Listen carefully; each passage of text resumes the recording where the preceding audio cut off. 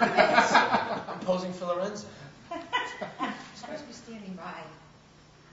Yes. Stand by. Pose. It's a surprise for you the first man must do this.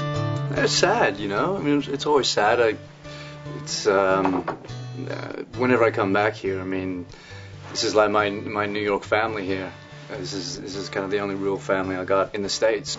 Been in this costume for like six weeks. I'm starting my maternity leave today. I've had all of them while working here, so everyone around here is used to me every couple of years leaving for a little bit and having another one. This is baby number four. This pregnancy has been very like the pregnancy with my daughter, so maybe it's a girl. I don't know. I'm gonna go home tomorrow. Actually, I gotta go home and pack up right now. Pack up all my life in New York over the last six months. Move to Australia. Uh, go to Australia for like a month, where I'm shooting a new TV show for about six weeks.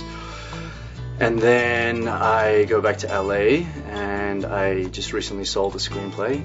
Beyond the excitement of, of this baby coming, I'm just thrilled to be there for my children that I already have. That's a real treat, a special joy for us.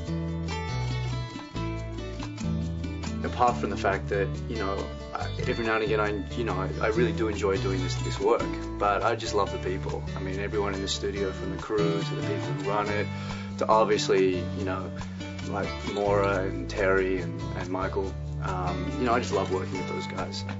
To me they're like again they're like you know my best friends and my family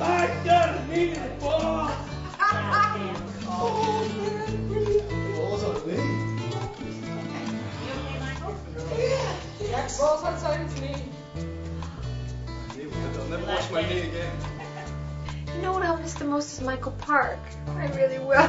I know, I just love him. He's such a source of pure laughter in my life. He makes me laugh harder than I than than should be illegal, and I'll miss that. You know, I think it's a healthy. It's healthy to have somebody in your life who makes you laugh like that.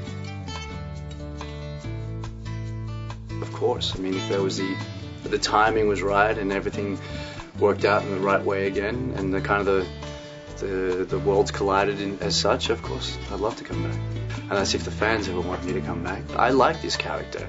He's so flawed, but you know what? I like him. He's got he's got sort of a sense of realism, and I, you know, if if I did ever come back, if there if there was that opportunity, um, you know, I'd like to even delve deeper into this character to find out really where he came from and what made him the way he is. I think that could be really interesting.